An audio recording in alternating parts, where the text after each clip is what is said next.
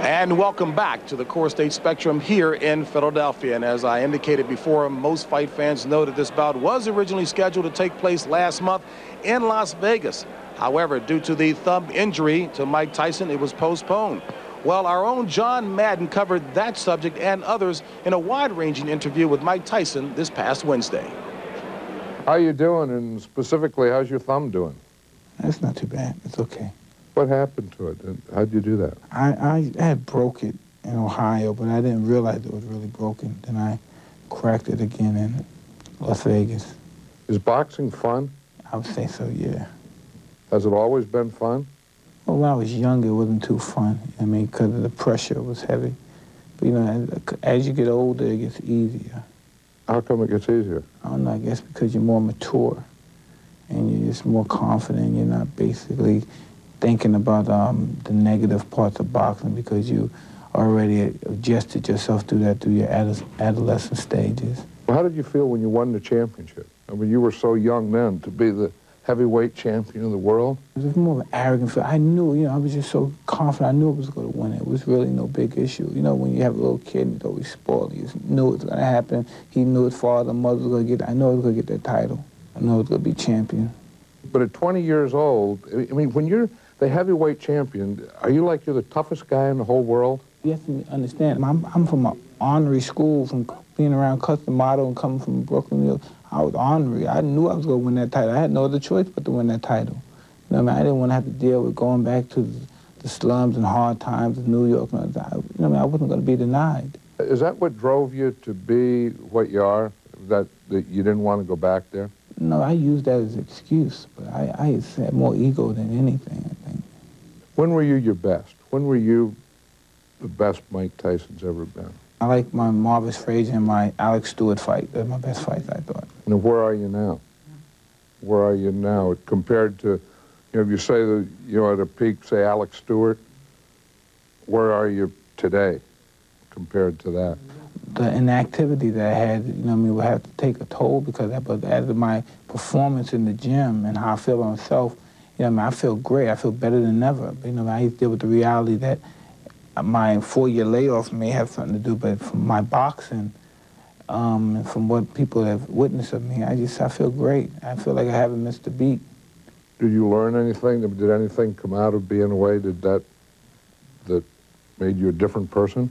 I just, you know, I mean, being in a place like that is just, it's a different planet. And people who are normally decent people are no longer decent people in that kind of environment. But you must understand, my experience is just, I, I just appreciate my life and appreciate dear friends and my family. And we just have to all pray to God that we don't run into a situation like that again because we're going to have bad times, we'll have good times, nothing lasts forever. But when they do come, you have to stand firm with them and, and deal with it courageously and brave. Well, how long will it take you to get back to where you were your best? After the four-year layoff? I don't know. Sometimes I probably think I'm not at my best now. I may go in the ring with the champ or something and it may obliviate him. I don't know. Then somebody may say he's at his best. And I say, God, I didn't feel that way. You never know when you're at your best. At least I don't. You just never know. Just it happens. It comes. Like when you're in the ring, I don't know about football, but you know sometimes you just don't feel good. And then soon the lights are on, bow, you get that snap, that hunger in your stomach, and you're just ready to eat this guy alive. Where are you now on that road to the championship? Well, um, one fight away. How does this fight look? Buster Mathis Jr. Well, look good for me. and then, and then, how about the next fight? I'm just, man, I'm, I'm truly confident. You know, I'm, and it's something ironic because being a Muslim, I, you know, I mean, I no longer, I'm not allowed, you know, I mean, within my heart, I don't feel good saying things that I would normally say about these certain individuals. Like you asked me those questions, like three years ago, four years ago, you'd ask me, I would have told you what I would have did to these guys and what would have happened to them. But it's a struggle in itself, trying to be humble. It's just a struggle. And I have a lot of accomplishments not to be humble.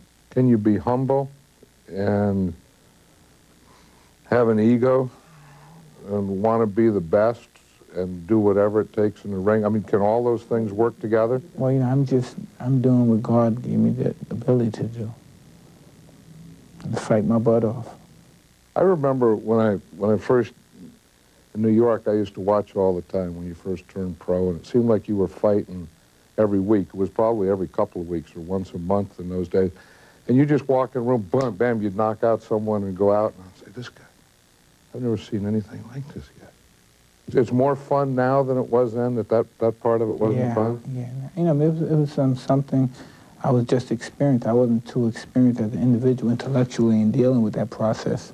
I'm more relaxed, I'm more focused. I don't know, see, um, you're more familiar with um, football, and I don't know if uh, you're familiar with any football players that you say a quarterback that get better as they get older, they get more disciplined, they're more uh, aware their tutors, they're, they're calm, relaxed, and that's just how I feel. I'm very confident, relaxed, and calm. Yeah, quarterbacks get that way. Like Steve Young of 49ers was that way. When he, as he got older, they were always telling him to be more relaxed and calm.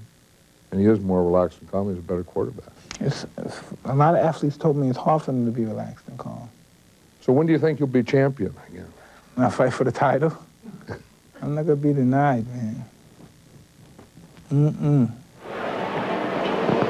And the man behind that closed door, Mike Tyson, well, John Madden and other fight fans are well aware that he is a young man who hits with bad intentions.